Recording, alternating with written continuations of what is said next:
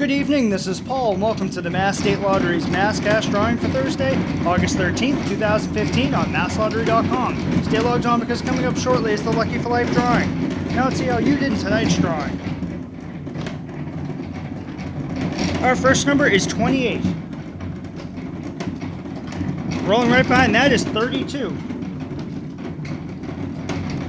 That's followed by 25. If you've matched these three numbers, you've already won a prize. Here comes two. And finally, 31. Once again, the winning mass cash numbers for Thursday, August 13th are 2, 25, 28, 31, and 32. Remember to log on to masslottery.com, Facebook, and Twitter to watch all the Mass State Lottery drawings. Good night.